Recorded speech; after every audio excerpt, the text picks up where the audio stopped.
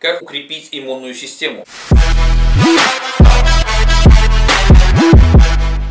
Считается, что если взрослый человек болеет респираторными инфекциями не чаще 5-6 раз в год, то это вполне нормально. Более того, быстрое выздоровление после ОРВИ без осложнений фарингита, танзелита, бронхит говорит о хорошей устойчивости иммунной системы. Но в то же время всем хочется болеть реже и легче, потому что болезнь это потеря рабочего времени, дни, оторванные от семьи, не сделанные дела, прерванные тренировки. Улучшить иммунитет взрослого человека можно активными физическими упражнениями, закаливанием, регулярными прогулками на свежем воздухе, нормальным здоровым сном и полноценным питанием. Если в рационе не хватает каких-либо витаминов или микроэлементов, то требуется их прием дополнительно. Какими препаратами можно и нужно укреплять иммунитет? Витамин D, эхиноцея, спирулина, глютамин, цинк. Понравилось видео? Ставь лайк, подпишись на канал. До новых встреч, друзья!